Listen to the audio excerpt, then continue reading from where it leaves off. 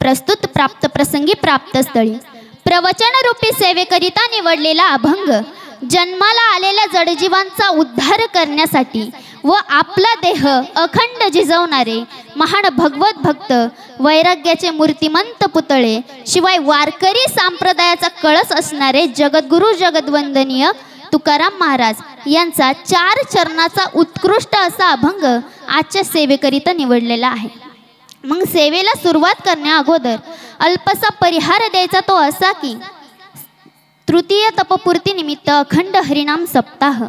आणि त्या सप्ताहामधील मला चौथ्या दिवसाची सेवा प्रा प्राप्त झाली. आणि ज्यांनी मला ही सेवा प्राप्त करून दिली ते माझे आदरणीय गुरुवर्य हरिभक्तपरायण दीपकजी महाराज सुद्रिक पाटील व हरिभक्तपरायण तताई महाराज सुद्रिक पाटील यांचे आभार मानते. आणि माझ्या प्रवचनरूपी सेवेला सुरुवात करते. मग ह्या अभंगात जगद्गुरु तुकोबाराय म्हणतात मागणे मागतात व उपदेश करतात. आणि उपदेश करत असताना जगद्गुरु तुकोबारायांनी तीन भाषा वापरल्या. पहिल्यांदा जगद्गुरु तुकोबारायांनी लोकांना उपदेश केला मागणी मागितली की काकुळतीला आले की देवा ह्या समाजाला तू ज्याच्यासाठी जन्माला घातलंय ते ते त्यांना होऊ दे. तर समाजाला आता ओरडून सांगितलं की बाबा हो तुम्ही पुण्य करा भगवंताचं नामस्मरण करा भगवंताच्या भक्तिरसात तल्लीन व्हा. तरी लोकांनी ऐकलं नाही. मग आमच्या तुकाराम महाराजांनी लोकांच्या पाया पडलं. लागोनिया पाया विनवितो तुम्हा करटाळी बोला मुखी नाम. विठ्ठल विठ्ठल मन वेळोवेळा हा सुख सोहळा स्वर्गी नाही. मग का पडले हो जगद्गुरु तुकोबाराय लोकांच्या पाया? त्यांना काही इलेक्शनला उभं राहायचं होतं का? तर तसं नाही. तर त्यांचं कार्यच ते होतं. जगाच्या कल्याणा संतांची विभूती देह कष्टविती परोपकारे. मग तुकोबरांनी पाया पडून सांगितलं तरी सुद्धा लोकांनी ऐकलं नाही. एके ठिकाणी नातराय सुद्धा म्हणतात कर जोडून विनवितो तुम्हा रे तुम्ही वासुदेव वासुदेव म्हणा. नका गुंतू विषय कामा रे तुम्ही वासुदेव वासुदेव म्हणा. तरी नातरायांनी सांगितलं तरी सुद्धा लोकांनी ऐकलं नाही. बघा तुकोबारायांनी पाया पडून सांगितलं तरी लोकांनी ऐकलं नाही. नातरायांनी विनंती करून सांगितलं तरी लोकांनी ऐकलं नाही. आणि आज मी तुम्हाला ओरडून ओरडून सांगते तरी तुम्ही ऐकणार नाही. बघा तुम्हीच कबूल केलं की आम्ही कीर्तन प्रवचन ऐकणार नाही म्हणून. बरं असो. मग नातरा मग तुकोबारायांना राग आला. तुकोबारायांनी समाजाला ओरडून ओरडून सांगितलं की बाबा हो तुम्ही नामस्मरण करा तरी लोकांनी ऐकलं नाही. वाजत असे मग कुणी ऐकती कानी. विठ्ठल विठ्ठल जे म्हणती तया मोक्ष थोर झाली हानी. मग एवढं सांगून सुद्धा लोक ऐकत नव्हती. मग तुकोबरायांना शेवटी राग आला आणि तुका तुकोबराय म्हणाले तुम्हाला नीट सांगून ऐकू ऐकू येत नाही ना? तर मग शिव्या घातल्या किती सांगू तरी नाही कती बटकीचे पुढे शेंदाणीचे रडतील. चांगलं पाहिजे चांगलं खायची तुम्हाला सवयच राहिली नाही. सगळा हा ब्रेड कार्यक्रम झाला. आता बघा बायकोने कितीही सुंदर भाजी बनवू द्या नवरा कधीच म्हणणार नाही की बायको भाजी चांगली झाली पण हॉटेलमधली कशीही असू द्या कितीही दिवसाची असू द्या नवरा ती आवडीने खातो. आता बघा कीर्तन प्रवचन सुरू असलं तर तिथले महाराज म्हणतात की बाबा हो पुढे येऊन बसा पुढे येऊन बसा. तर काही आले तर येतात नाहीतर मागेच बसतात. पण तमाशाला मात्र तीस तीस रुपये तिकीट काढून इतके पुढे जाऊन बसतात इतके पुढे जाऊन बसतात की त्या नाचणारीन बाईचा गुडगा त्यांच्या तोंडाला लागतो इतके पुढे जाऊन बसतात. मग तुकोबारा एवढं काकुळतीला येऊन का सांगतो हो? विठ्ठल विठ्ठल मना वेळोवेळा हा सुख सोहळा स्वर्गी नाही. का तर हा सुख सोहळा स्वर्गी नाही? आता बघा भजन दिंडन प्रवचन सोहळे हे काय स्वर्गात होतात का? तर नाही. तुम्ही म्हणाल ताई तुम्हाला कसं काय माहिती? तर मी परवाच्या दिवशीच स्वर्गात जाऊन आले म्हणून मला माहीत. बरं मी म्हणते म्हणून मान्य करू नका तर जगद्गुरु जगद्वंदनीय तुकाराम महाराज म्हणतात हा सुख सोहळा स्वर्गी नाही. दादांना जाता जाता एक सांगून जाते तुम्हाला. पाप जास्त पाप कराल तर नरकाची प्राप्ती आहे. जास्त पुण्य कराल तर स्वर्गाची प्राप्ती आहे. आणि हे मॉडेल घडण्यासाठी पाप पुण्य समान लागतं. पाप पुण्य समान समी तरी जे पावेल कर्मभूमी. मग जे अमृत पिऊन अमर झाले चहा दारू गांजा पिऊन नाही तर जे अमृत पिऊन अमर झाले ते ब्रह्मदेवापाशी इच्छा करतात. हे भगवंत हे परमेश्वरा आम्हाला इथे जन्म नको तर कुठे? तर मृत्यू लोकात. स्वर्गीचे अमर इच्छिता ती देवा. मृत्यूलोकी व्हावा जन्म आम्हा. बरं मग तिथले स्वर्गात जर हा सुख सोळा असता तर तिथल्या दे तिथल्या देवांनी इथे यायची इच्छा केली असती का? तर नाही. बरं ते जाऊ द्या. करतुम अकर्तुम अन्यथा कर्तुम पंढरीशी पांडुरंग परमात्मा या सुखासाठी वेडा झाला आणि वैकुंठ सोडून संत राहू लागला. या सुखा कारणे देव वेडावला. वैकुंठ सोडून संत सदनी राहिला. मग का आला माझा भगवान परमात्मा इथे राहिला? काहीतरी आनंद मिळावा म्हणूनच आला ना? आता तुम्ही हरिपाठाला कीर्तनाला प्रवचनाला आले. तर काहीतरी आनंद मिळावा म्हणूनच आले ना? मग माझ्या भगवान परमात्म्यानं कोणता आनंद घेतला सांगू तुम्हाला? अरे वाळवंटी नामदेवरायांनी कीर्तन करावं. त्या कीर्तनामध्ये जनाबाईंनी ज्ञानोबारायांना अभंग म्हणायला लावावा आणि माझा भगवान परमात्मा वेडा होऊन त्या कीर्तनात नाचावा. नामदेव कीर्तन करी पुढे देव नाचे पांडुरंग. नामदेव कीर्तन करी पुढे देव नाचे पांडुरंग. जनी मने ज्ञान देवा बोला भंग जनी म्हणे ज्ञान देवा बोला भंगन. माझा भगवान परमात्मा इतका नाचला इतका नाचला त्याचा पितांबर गळला याचं सुद्धा त्याला भान राहिलं नाही. नाचता नाचता देवाचा गळला पितांबर. नाचता नाचता देवाचा गळला पितांबर. मग सावध होई ऐसे बोले कबीर माझा भगवान परमात्मा इतका नाचला त्याचा पितांबर गळला याचं सुद्धा त्याला भान राहिलं नाही.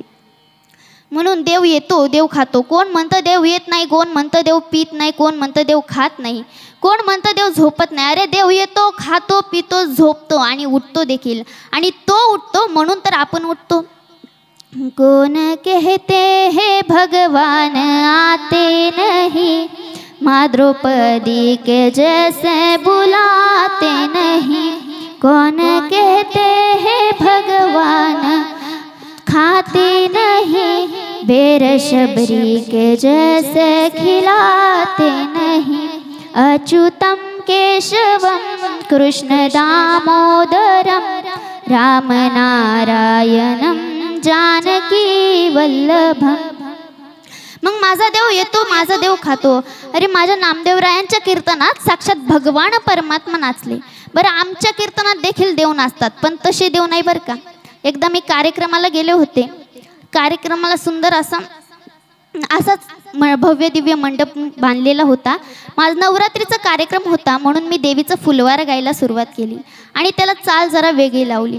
सुटला माझा पदर बाय मी नव्हते भानात. सुटला माझा पदर बाय मी नव्हते भानात. अन अंबाबाईचं वार माझ्या भरलं अंगात. अन अंबाबाईचं वार माझ्या भरलं अंगात. टाळकरी मृदुंगाचार्य सर्व धुंद झाले आणि महिला मंडळातून एक आंबाबाई उठली आणि आहा आहा करत माझ्याकडे येऊ लागली. ती जशी जशी एक एक पाऊल माझ्याकडे यायची तशी तशी मी एक एक पाऊल मागं फिरा फिरायची.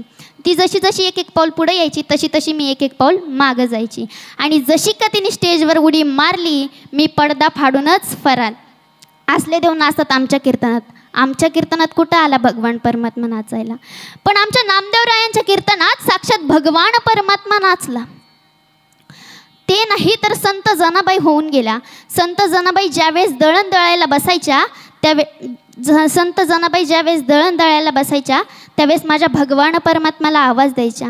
आणि त्यावेळेस माझा भगवान परमात्मा यायचा देखील. मग तेव्हा जनाबाई देवाला आभ ओव्या म्हणायच्या सुंदर माझे जाते ग फिरते बहुतुके ओव्या गाऊ कौतुके तू ये रे बा विठ्ठला ओव्या गाऊ कौतुके तू ये रे बा विठ्ठला जीव दोन्ही खुंटे ग प्रपंचाचे नेते ग लावून पाची बोटे गे तू ये रे बा विठ्ठला. तेव्हा माझा भगवान परमात्मा यायचा देखील आणि जनाबाईंना दळणही द दळू लागायचा. आता त्या ओव्या झाल्या. आता आत्ताच्या ओव्यांचा जर विचार केला दादानं बघा मी एकदा कीर्तनाला गेले होते. कीर्तन कीर्तन उशिरा सुटल्यामुळे मी तिथंच मुक्काम केला. आणि सकाळी पहाटे पाच वाजता मला जाग आली. आणि बाहेर जाऊन पाहिलं तर एक एका लिंबाच्या झाडाखाली एक बाई दळण दळत बसली होती. ती असं म्हणत होती लिंबाच्या झाडाखाली मला वाटलं असं म्हणत लिंबाच्या झाडाखाली भाऊ माझा कीर्तन करी. ती असंही नाही म्हटली मग मला वाटलं असं म्हणन. लिंबाच्या झाडाखाली भाऊ माझा भजन करी. ती असंही नाही म्हटली. तिने तर तिसरंच काढलं. लिंबाच्या झाडाखाली भाऊ माझा दारू पाडी. कोण्या मेल्यानं केली चाडी. तिकडून आली पोलिसाची गाडी. लावली भावाला हातकडी. पाहता काय मावलं ना नेला ना माझा भाऊ धरून.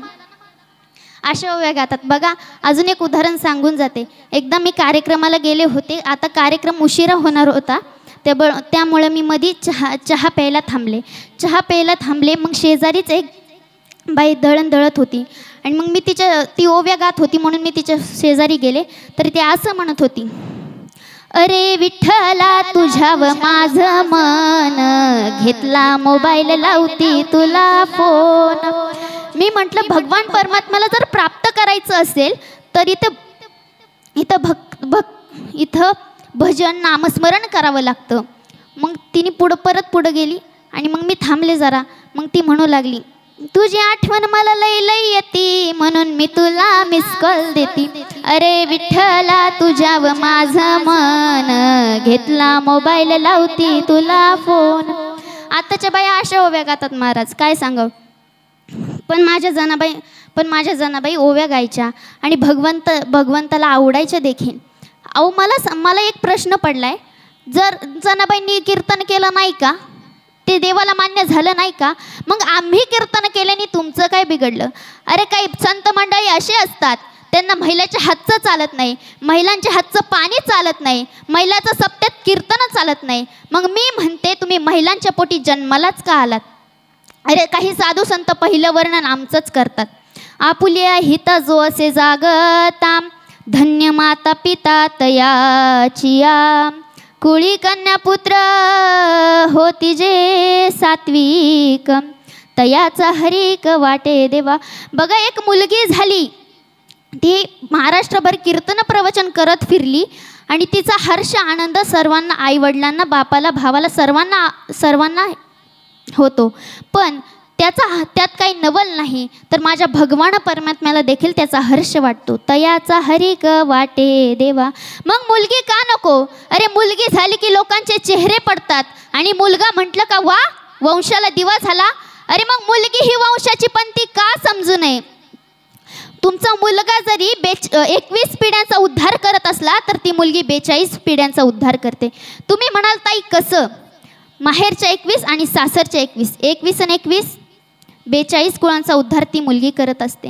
मग मुलगी का नको? बघा एक सुंदर असं गीत आहे. ती मुलगी आईला गर्भातून आवाज देते. नऊ महिने नव दिवसांनी झाली जग बघण्याची घाई. वंशाच्या दिव्यापायी नको पंती विझवू आई. वंशाच्या दिव्यापायी नको पंती विझवू आई. मग मुलगी का नको तुम्हाला? उद्या तुझ्या गर्भाची चाचणी होणार ग.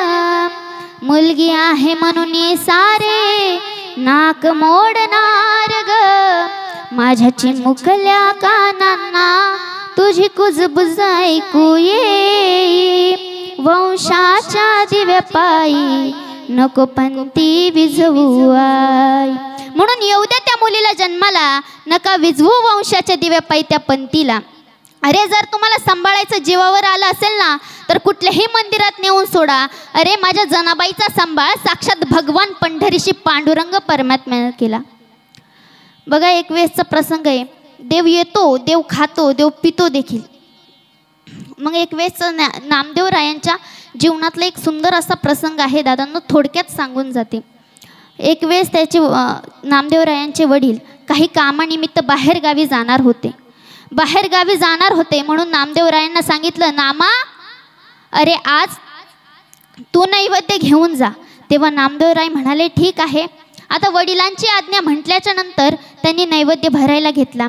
ताट भरून नैवेद्य भरला. आता नैवेद्यांचा विषय आला म्हणून सांगून जाते. आता तुम्ही तुम्हाला खायला पोळ्या केवढ्या करता? पुरणपोळ्या केवढ्या करता? एवढ्या. आणि देवाला येवश येवशक पाच चांदक्या. आता त्याच्यात काही एक एक वाटी सार असतो का? तर नाही. एकच बोट बुडवायचं आणि टपा टपा टपा पाची चांदक्यांवर टाकायचं. एवढंच नाही. तर त्याच्यावर काही दहा दहा भजे ठेवतात का? नाही. एकच भजं घ्यायचं. त्याच्यातूनही अर्ध मोडायचं. अर्ध बाळाला द्यायचं आणि थोडे थोडे तुकडे त्या नैवेद्यावर ठेवायचे. असा आपला नैवेद्य. पण त्यावेळेसचं नैवेद्य खूप मोठा असायचा. नामदेवरायांनी नैवेद्य घेतला मंदिराच्या दिशेने निघाले.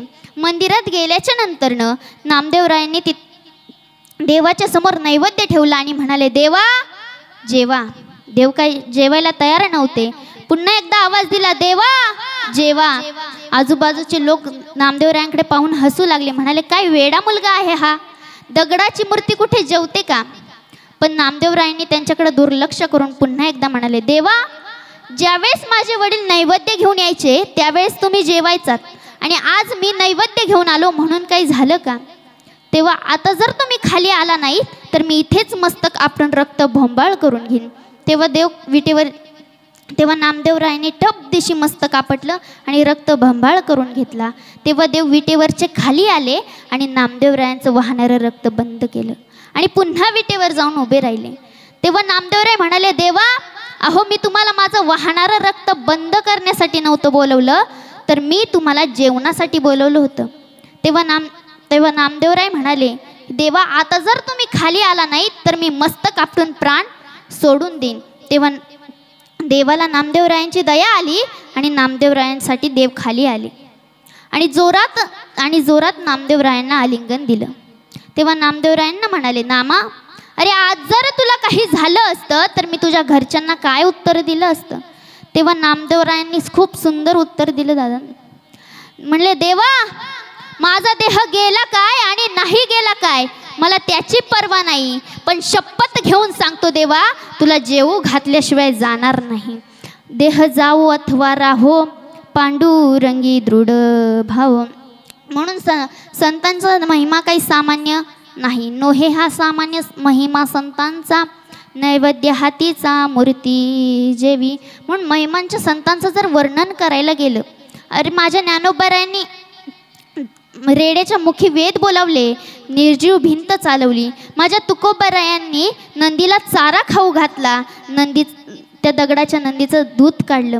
अरे माझ्या नामदेवरायांच्या कीर्तनात साक्षात भगवान परमात्मा नाचला. एवढंच नाही तर नागनाथ भगवान शंकराने नामदेवरायांचं कीर्तन ऐकण्यासाठी देऊळ फिरवलं. म्हणून संतांच्या महिमेचं कोण वर्णन करू शकत नाही? म्हणून तुकाराम तुकाराम महाराजांकडे एक गृहस्थ आला. गृहस्थ आल्याच्यानंतर तो गृहस्थ तुकाराम महाराजांना म्हणाला हो तुम्ही त्या देवाची पूजा करता तुम्ही त्या देवाची भक्ती करता. मग त्याच्यासाठी तुम्ही कोणती सत्यनारायणाची महापूजा घातली का? का कोण कोणत्या तीर्थाला गेले? तर तुका तुकाराम महाराज म्हणले तसं काहीही केलं नाही. फक्त भगवंताचं नामस्मरण केलं. आता तू जे काही पाप करतोय ते पाप सोडून तू पुण्य कर आणि त्याचा सेवक हो. ते तुकाराम महाराज अभंगाच्या प्रथम चरणात सांगतात. कोण पुण्य यांचा होईल सेवक? जी हि द्वंद्वादिक दुराविले. ऐसे वर्मा माझ दावी नारायण अंतरीच्या खुना प्रगटोनी मग तुकाराम महाराजांकडे तो सेवक पुन्हा आला आणि म्हणाला तुकाराम महाराज तुम्ही जसं म्हटलात तसं आम्ही ते पुण्य केलंही त्याचं सेवकही झालो पण त्यात आमचा फायदा काय? आजकाल जे ते आपल्या फायद्याचंच पाहत असतंय. मग त्याच्यामुळं तुकाराम महाराज म्हणाले जी ही दुराविले. मग तुझा जो काही राग द्वेष अहंकार सुखदुःख ते सगळं आहे ते सर्व बाजूला ठेव आणि देवाचं नामस्मरण कर आणि देवाच्या ज्या काही खानाखुणा आहेत त्या प्रगट करून दाखव.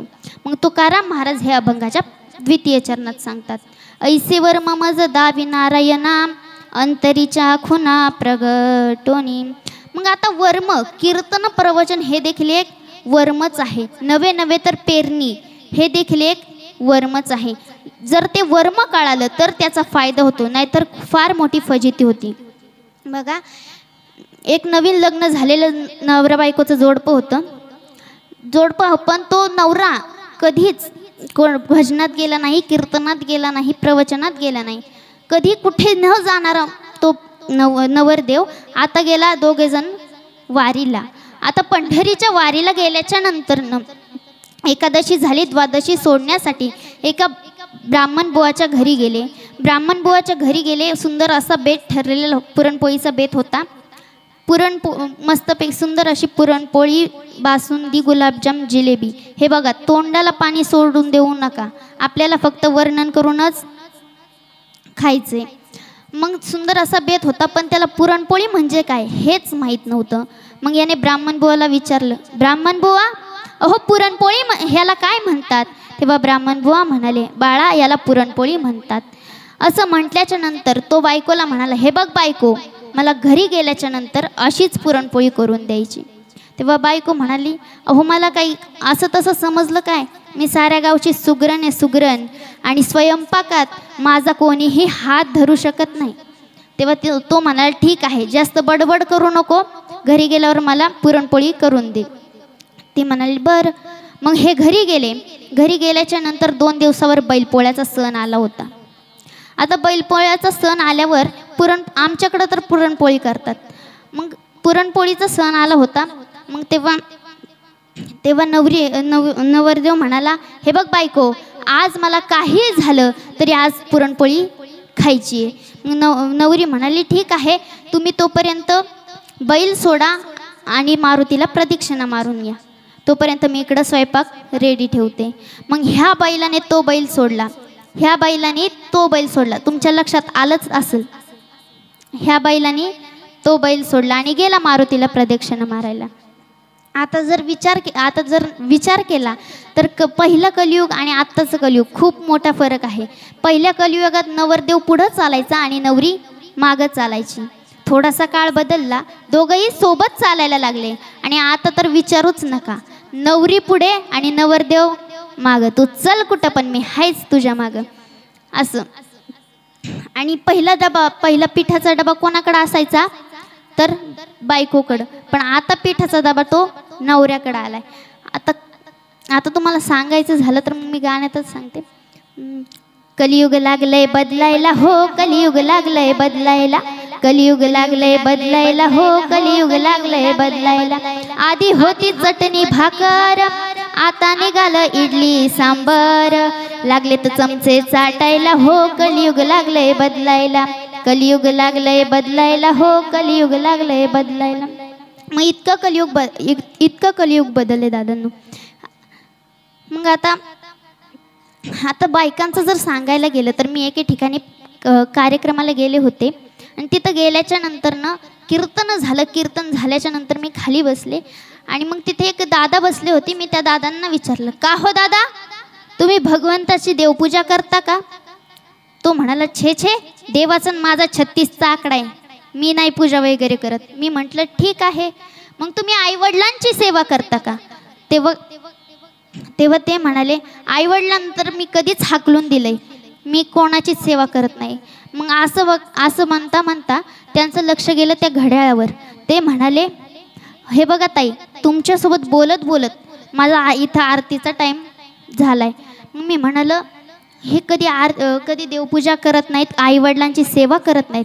नेमकी आरती तरी कोणाची करायला गेले? मग ते त्यांच्या घरी निघाले होते. मीही त्यांच्या मागे मागे गेले. मागे मागे गेल्याच्या नंतरनं तो ते घरात शिरले. घरात शिरल्याच्या नंतर डायरेक्ट किचनमध्ये गेले.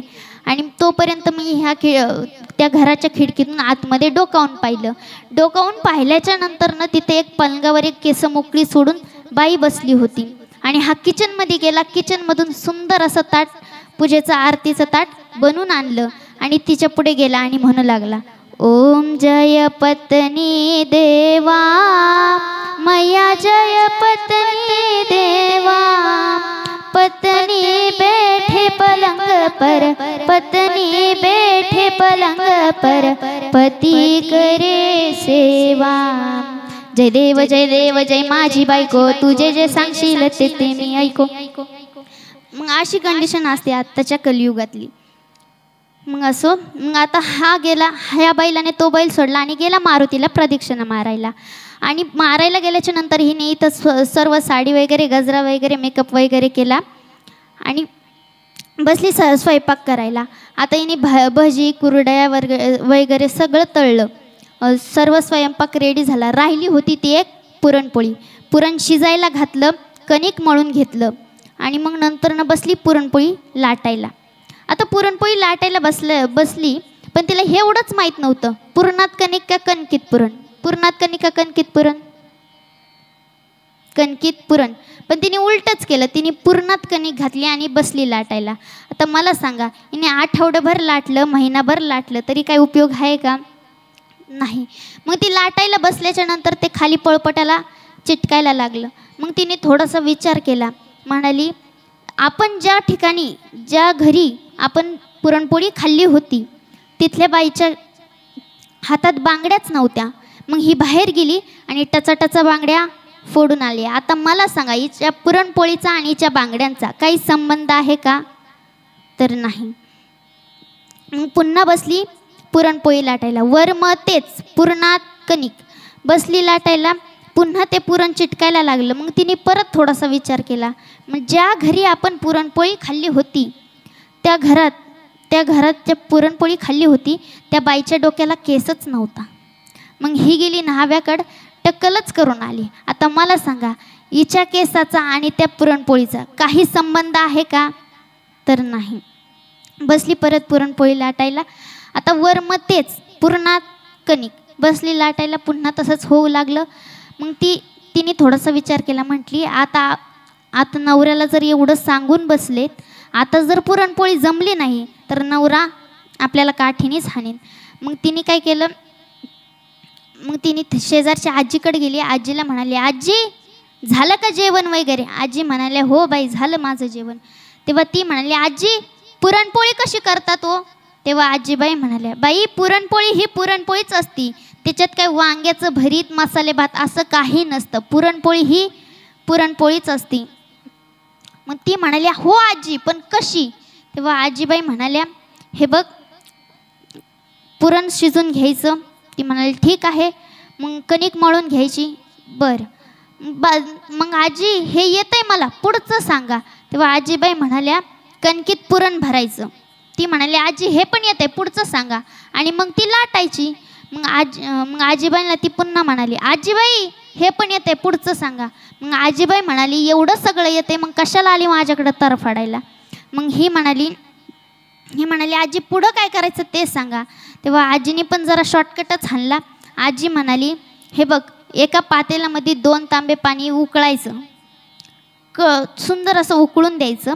आणि जशी का तुझी पुरणपोळी झाली ती तशी त्या पाण्यात सोडून द्यायची. म्हणजे बघा वर्म चुकलं तर किती मोठी फजिती होती. म्हणून आधी जी गोष्ट करायची असेल त्याचं पहिलं वर्म कळावं लागतं. तुका म्हणे चुकले वर्म केले वघेची धर्म. म्हणून वर्म कळालं तर त्याचा फायदा नाही तर फार मोठी फजित होती. बघा हे हे परमेश्वरा हे भगवंता हे नारायणा.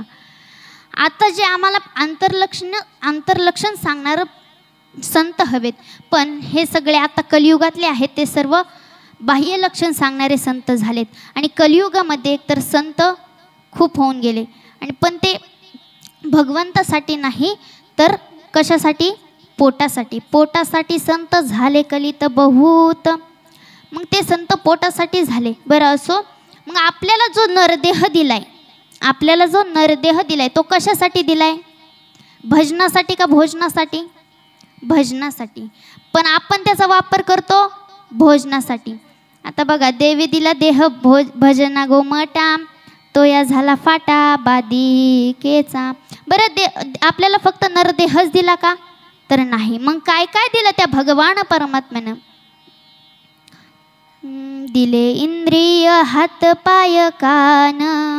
डोळा मुख बोलाया वचन. जेने तू जोडसी नारायण नास जीवपण भवरोग मग आपल्याला देवाने एवढे इंद्रिय दिलेत सगळे जागच्या जागे दिलेत. जर आपल्याला एखादा इंद्रिय जर दिलाच नसता तर? कधी विचार केलाय? आपल्याला जर एखादा वि इंद्रिय दिलाच नसता तर? बरं आपल्याला जर नाक मागं दिलं असतं तर? तर आपण घास कुठं दाखवला असता? बरं हे कानच नसते दिले तर? तर चष्म्याच्या दांड्या कुठं अडकवल्या असत्या?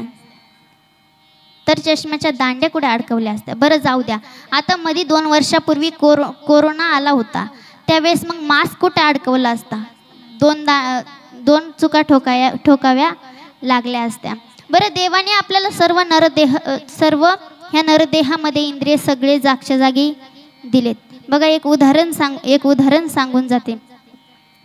बघा आता एक एका गावामध्ये एक भिक एक का आता समजा जर कोणाला कान दिले नसते तर एका गावामध्ये दो सगळे बहिरेच होते. आता तो गेला एक मेंढपाळ होता तो मेंढपाळ मेंढी मेंढ्या पाळत होता. मेंढ्या पाळत असताना तो तो मस्त सुंदर असा एका झाडाखाली बसला भोजन केलं आणि तिथेच त्याला गार झोप लागली. गार झोप लागल्याच्या नंतर तो तिथेच झोपला. झोपल्याच्या नंतर याच्या मेंढ्या सर्व पुढं निघून गेल्या. आता पुढं होतं एक शेतकरी दादा. आता हा थोड्या वेळाने जाग आली याला. हा उठल्याच्या नंतरनं पुढे शेळ्या इकडं तिकडं पाहतोय आपल्या मेंढ्या कुठंच नाही आहेत मग हा थोडासा पुढं गेला आणि तिथे शेतकरी दादा बसले होते. शेतकरी दादांना म्हणाला दादा हो तुम्ही माझ्या मेंढ्या पाहिल्यात का? तेव्हा शेतकरी दादा देखील बहिरेच होते. म्हणाले मेंढ्या पाहिल्यात का? तर ते काही बोलानाच तेव्हा नाम तेव्हा ते म्हणाले जाऊ दे हा बहिरा असन किंवा यांनी मौनव्रत धरला असन. आणि मग असं म्हटल्याच्या नंतरनं तो म्हणा त्याला वाटलं मौनव्रत धरले म्हणून त्यांनी एक शेतकरी दादांनी एक दग हळूच दगड फेकला. दगड फेकल्याच्या नंतर त्याला वाटलं मौनव्रत धरले म्हणून यांनी आपल्याला दिशा दाखवली. मग हा सप त्या दिशे त्या दिशेने गेला आणि योगायोगाने त्याला एक आपल्या मेंढ्या सापडल्या. आता सापडल्याच्या नंतर त्याने बक्षीस म्हणून मग बक्षीस द्यायचं त्या शेतकरी दादाला बक्षीस द्यायचं ठरवलं. ठरवल्याच्या नंतर ना हा ठरवल्याच्या नंतर ना याने को यांनी कोणती मेंढी घेतली? तर एखादी मोडकी मेंढी होती ती त्यानं हातात घेतली आणि त्या शेतकरी दादा शेजारी गेला. शेतकरी दादाला म्हणाला शेतकरी दादा अहो तुम्ही माझ्या मेंढ्या सापडून दिला ना त्याच्याबद्दल मी तुम्हाला हे बक्षीस देतो. तेव्हा शेतकरी दादाला वाटलं याच आप यांनी याची आपण मेहंदीचा पायच मोडला का काय? म्हणून हा म्हणला ए मी काय तुझ्या मेंढीचा पाय मोडला नाही. दोघांची जोर जोरात भांडणं लागली. तिकडून घोडेस्वार दादा आले.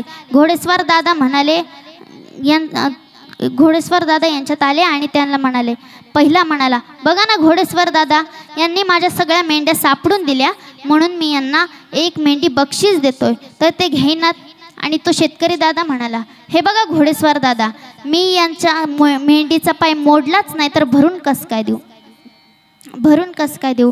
मग तेव्हा त्या दोघांची भांडणं लागली आणि हा घोडेस्वार दादा देखील बहिराच होता. मग हा म्हणाला मी आधीच महिन्या महिन्याआधी सत्तर हजाराला हा घोडा विकत घेतला आणि तुम्ही म्हणताय चोरीचा आहे? नाही नाही मी मान्यच करू शकत नाही. तेव्हा तेव्हा तिघांची जोरदार भांडणं लागली आणि तिघं गेली पोलीस पाटलाकडे. पोलीस पाटलाच्या पाटलाकडे गेल्याच्या नंतरनं आता ह्या तिघांची भांडणं होती. पहिला म्हणाला मेंढपाळ दादा म्हणाला मी याला एक मेंढी दान करतो बक्षीस देतोय तर हा घेई नाही. दुसरा म्हणाला मी याच्या मेंढीचा पाय मोडलाच नाही तर भरून कस काय देऊ? आणि तिसरा म्हणला पोलीस पाटील तुम्ही महिन्यापूर्वीच ह्या घोड्याचा सौदा करून दिला होता आणि हे दोघं जण म्हणतायत की हा घोडा चोरीचा आहे मी मान्यच करू शकत नाही. मग तिघांची भांडणं लागली. पोलीस पाटील पण भैराच होता. मग पोलीस पाटील म्हणाला हे बघा तुम्ही तिघच काय? सारं गाव जरी आलं तरी मी एकीला सुद्धा घरात घेणार नाही. त्याच्या आधीच दोन बायका काढून दिल्या होत्या. म्हणजे जर आपल्याला एक जरी पार्ट देवाने कमी दिला की एवढी मोठी फजिती होती म्हणून त्या भगवान परमात्म्याचा आपण एकदा उपकार केले उपकार मानले पाहिजेत. भगवंताने आपल्याला इतके उपकार दिले उपकार केले आपल्यावर मग त्यांचं धन्यवाद तरी मानायला पाहिजे. बरं असो. आता थोडाच वेळ राहिलेला आहे. त्याच्या अगोदर मी तुम्हाला थोड्याच वेळात एक दोन मिनटाचा प्रसंग सांगून जाते. अरे इतिहासाच्या पानोपानी अमर अशी शिवप्रभूंची गाथा. इतिहासाच्या पानोपानी अमर अशी शिवप्रभूंची गाथा. अभिमानाने मर्द मराठा झुकवतो त्यांच्या चरणी माता त्यांच्या चरणी माता. अरे राष्ट्रमाता महासाहेब जिजाऊ क्षत्रिय कुलावत राजाधिराज योगीराज श्री श्री श्री छत्रपती शिवाजी महाराज की. धर्मवीर संभाजी अरे महाराष्ट्राची कुलस्वामिनी आई तुळजा भवानी हिंदवी स्वराज्याचे संस्थापक राजा शिव छत्रपती शिवाजी महाराज. अरे ज्यांच्या कुशीमध्ये हे स्वप्न साकार झालं तर राजमाता जिजाऊ. अरे ज्यांनी हे स्वप्न खांद्यावर पेललं ते धर्मवीर संभाजीराजे. यांना माझा त्रिवार मानाचा मुजरा. अरे सह्याद्रीच्या दऱ्याखोऱ्यात अंधार पसरला होता. दीन दलित जनता त्या अंधारात खितपत पडली होती. त्याच दिनदली जनतेला ज्ञानाचा प्रकाश देण्यासाठी जुन्नर तालुक्यात शिवनेरी किल्ल्यावर एका तळपत्या सूर्याचा जन्म झाला. अरे सूर्यास्ताला गेला. सायंकाळ झाली. सूर्यास्ताची अनेक किरणे शिवनेरीत आली. अरे एकोणीस फेब्रुवारी हा दिवस अमर झाला. याच तर दिवशी माझा राजा जन्माला आला. अरे ना सत्तेसाठी ना राजकारणासाठी जीव तळपतो माझ्या महाराष्ट्राच्या अस्तित्वासाठी. अरे मी मी म्हणणाऱ्या मातीत लुळवणारी माझी महाराष्ट्राची माती हाय. खंजीर गुस्ता घुसणार नाही अशी शिवरायांची छाती हाय शिवरायांची छाती आहे अरे भगवी आमची दादागिरी भगवी आमची झडप हाय. नाद कराल शिवभक्तांचा तुम्ही दुनियेतून गडप हाय. अरे आमच्या पाठीवर अजून शिवरायांचा हात हाय मोडल पण वाकणार नाही मर्द मराठ्यांची जात आहे. अरे स्वराज्य स्वराज्य स्वराज्य म्हणजे काय? स्वराज्य निर्माण करत असताना राजांनी विचार केला नव्हता जाती आणि पातीचा. मराठ्यांच्या तलवारी पुढे नखरा चालत नव्हता साडी सातींचा साडी सातींचा अरे लढाईला जात असता मावळा विचार करत नव्हता दिवस आणि रात्रीचा. कारण अभिमान होता या महाराष्ट्राच्या मातीचा या महाराष्ट्राच्या मातीचा. अरे आताचे मावळे म्हणतात की राजा राजा तुम्ही पुन्हा जन्माला या. अरे शिवजयंती जवळ आली का हे तरुण बांधव डीजे लावून नाचतात? आणि म्हणतात काय राज तुम्ही पुन्हा जन्माला या. अरे हातात गुटका आणि तोंडात मावा आणि राज तुम्ही पुन्हा जन्माला या. अरे तुमच्या बाप्पानं ठेवलंय का राज पुन्हा जन्माला या? जर माझा राजा जन्माला यायचा असेल ना तर सर्वांनी पहिलं मावळे व्हावं लागेल. मगच म्हणा राज पुन्हा जन्माला या. अरे राजा कुणाला म्हणावं? अरे मावळे कुणाला म्हणावं? अरे लवकर उठे रणांगणात सुटे. अरे तलवार तुटे तरी सुद्धा मागे ना हटे आणि आजकालचे मावळे लेट उठे दारूच्या अड्ड्यावर सुटे. अरे बाटल्या फुटे तरी सुद्धा मागे ना हटे. आजकालच्या मावळ्यांची कंडिशन ही. आहे म्हणून मावळं कोणाला म्हणावं? अरे एकदा लढाईत मावळ्या एका मावळ्याचा हात तुटला. राजे म्हणाले बाळा अरे तू घरी जा. दोन चार महिन्याची सुट्टी घे आणि तुझा हात बरा झाला की मी तुला पुन्हा सैन्यामध्ये दाखल करतो. मग हा घरी गेला त्याला काही बंगला वगैरे नव्हता तर साधी झोपडी होती. झोपडीमध्ये तो राहत होता. तेव्हा दीड दोन महिने झाले. मग राजांनी थोडासा विचार केला अरे श्रीमंताचं दुःख निवारण्यासाठी कोणीही जातं पण त्या गरीबाला कोण निवारणार? अरे कोण त्यांना जवळ घेणार? तेव्हा राजे त्याच्या घरी गेले. घरी गेल्याच्या नंतरनं राजांनी झोपडीचं दार उघडलं. आणि आतमध्ये गेले. जसं त्या मावळ्याच्या समोर उभं राहिले आणि तेव्हा तो मावळा रडू लागला. इतका रडू लागला इतका रडू लागला की त्याचे अश्रुपात घोडग्यापर्यंत उघडू लागले. इतका तो मावळा रडू लागला. तेव्हा राजे म्हणाले बाळा अरे तू रडू नको. मी तुला पुन्हा सैन्यामध्ये दाखल करतो. पण तू रडू नको. तेव्हा तो मावळा म्हणाला अहो राजा मी त्याच्यासाठी नाही रडत. मी त्याच्यासाठी नाही रडत. अरे माझा हात तुटला म्हणून मी नाही रडत. तर स्वराज्याचा राजा इथे माझ्यासमोर उभा आहे पण मी त्याला वाकून मुजरा सुद्धा करू शकत नाही. बघा एवढी निष्ठा असावी एवढं प्रेम असावं. मग म्हणा राज तुम्ही पुन्हा जन्माला या. अरे कापल्या जरी आमच्या नसा तर उधळण होईल भगव्या रक्ताची. आणि फाडली जरी आमची छाती तर दिसेल मूर्ती फक्त शिवरायांची फक्त शिवरायांची. अरे अंधार होत चाललाय. आता दिवा पाहिजे. या महाराष्ट्रासाठी पुन्हा एकदा जिजाऊंचा शिवबा पाहिजे. पुन्हा एकदा जिजाऊंचा शिवबा पाहिजे. अरे हर हर महादेव आवाज सुटला. मुघलांच्या कपाळी घाम फुटला. शिवबा तुमच्या नंग्या तलवारी मुघल पळती माघारी. अरे शिवबा तुम्ही अजून दहा वर्ष जगला असता तर मुघलांनीही कपाळी भगवाच लावला असता. बघा जाता जाता एवढंच सांगते. तांदूळ शिजला की भात म्हणतात. दिवस मावळला की रात म्हणतात. तांदूळ शिजला की भात म्हणतात. दिवस मावळला की रात म्हणतात. ज्याला महाराष्ट्रात राहून शिवाजी महाराज माहीत नाहीत त्याला हिजड्याची अवलाद म्हणतात. आता जी आपली निय नियोजित वेळ होती ती आपली संपत आलेली आहे. त्याच्याबद्दल मी आज ज्यांनी माझं कीर्तन ठेवलं ते तृतीय तपपूर्ती अखंड हरिनाम सप्ताह. त्याब